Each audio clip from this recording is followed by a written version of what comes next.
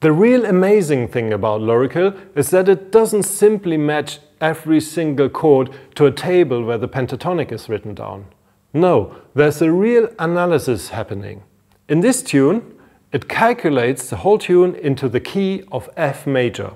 If I now change the third chord, for example, the G minor 7, into a simple G major chord, see what happens? It recalculates and suddenly the tune is set into C major and it finds a 2-5-1 progression. If you want to know more, watch the next video.